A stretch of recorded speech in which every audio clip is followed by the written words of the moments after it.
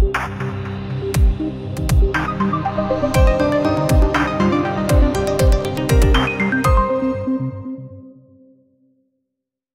Erdinç Omaç. Fotoğraf çekmek kolay, hoş geldiniz. Sevgili dostlar, bugün birkaç konuyu birden inceleyeceğim ama genel olarak bunların hepsi bağlantı konusu olacak. Ee, ve Sony A7 R5 ile ilgili olacak. Bir tanesi Atomos Ninja'ya bağlamak ki ben bayağı bir sıkıntı çektim bulana kadar. Ve bu konuda da baktım ki içerik yok yani doğru dürüst. Bir diğeri de e, tethering dediğimiz yani doğrudan doğruya kamerayı bilgisayara bağlayıp fotoğrafı çektiğiniz anda bilgisayara aktarım konusu olacaktır. Ama her şeyden önce bir teşekkürle başlamak istiyorum. Bazılarınızın fark ettiği gibi logomuz değişti. Ve bu logonun grafik tasarımıyla ilgili e, sevgili Bekir Can Arı'ya çok çok teşekkür ediyorum.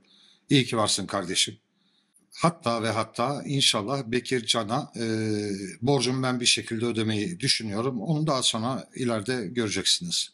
Şimdi gelelim Atomos Ninja 5'e Sony'yi bağlamak. Şimdi sevgili dostlar bir şeyimizi açtığımız zaman menüye girdiğiniz zaman normal şartlarda şuradan en aşağıdan yani daha doğrusu setup menüsünden buradan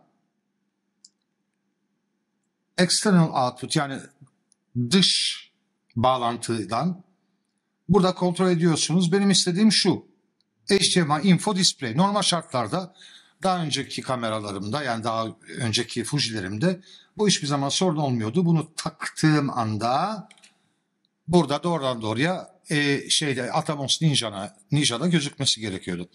Allah Allah gözükmüyor dedim. Peki çıkarttım o zaman başka ayarlar denedim. Baktım output settinglerine. Tamam. HDMI output on dedim. E, output resolution auto dedim. RAW'la ilgili bir sıkıntımız yok. RAW yapmayacağız sonra. Dedim ki burada bir sıkıntı yok. Buraya bakalım dedim. E, burası da otomatik diyor. Oto diyor. E, ne yanlış olabilir dedim.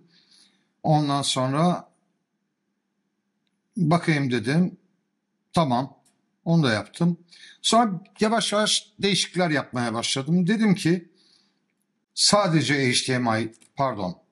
Ha, sadece HDMI dedim. Bastım. Ha, bu ikaz verdi. Ben de bağlantıyı kurdum. Okey dedim. Ve karşıma çıktı. Ha dedim tamam çözdüm işi. Çözdüm işi. O zaman dedim menüye gireyim. Allah Allah. Menüye aşağıda giriyor ama yukarıda girmiyor. Neticede dedim ki yine olmuyor çıkartalım. En sonunda sevgili dostlar dedim ki herhalde bunun dedim çözünürlükle alakası var. Buradan otoyu tek tek hepsini anlatmayacağım ama en sonunda 1080p'de doğrusunu buldum.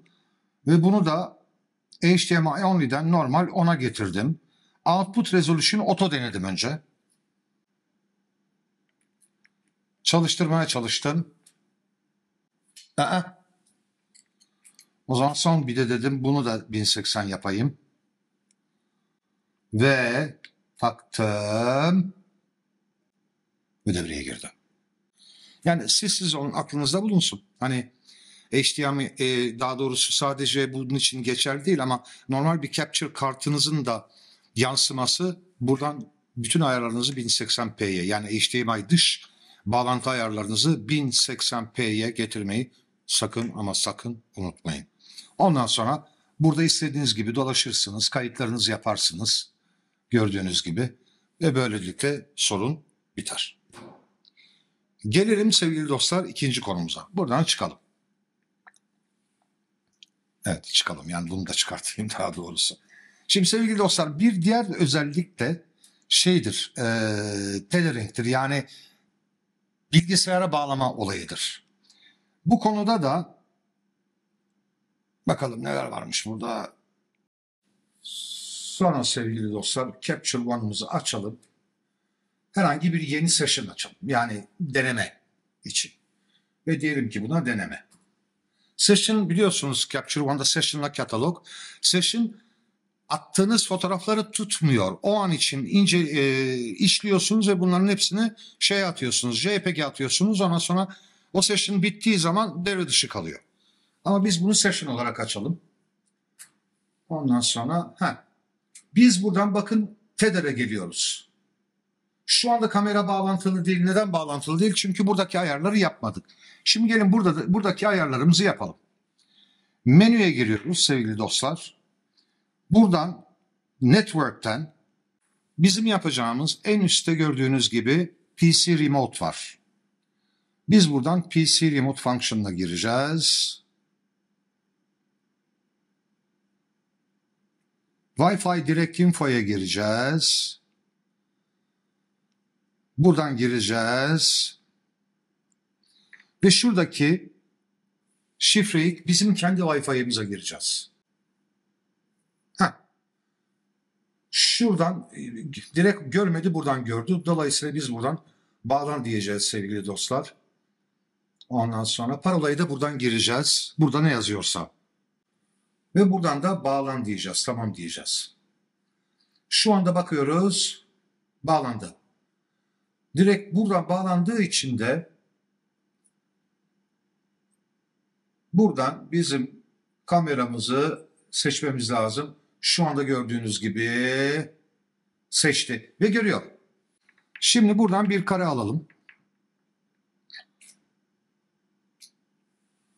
Ve doğrudan doğruya bilgisayar attı gördüğünüz gibi. Ve oldukça da süratli attı. Hatta bir tane daha çekelim.